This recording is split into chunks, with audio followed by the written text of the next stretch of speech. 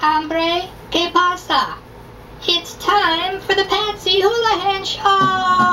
She's a slutty Lucy and she's in the know. She's the smartest still and always on the go.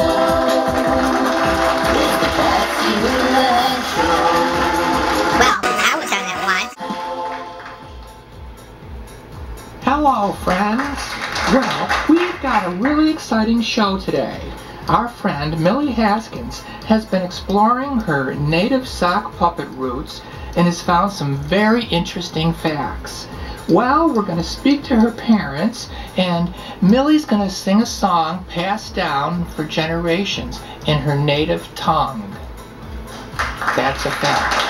Many of you might not know that in the puppet world, sock puppets are often shunned by marionettes, ventriloquist dummies, and even sometimes hand puppets. Huh. So what about us bath mitts? No mention of us. What if they think we are? Chopped pork? At least, um, you got to play Arnold the pig. Well, the heck with it. Let's go chase girls.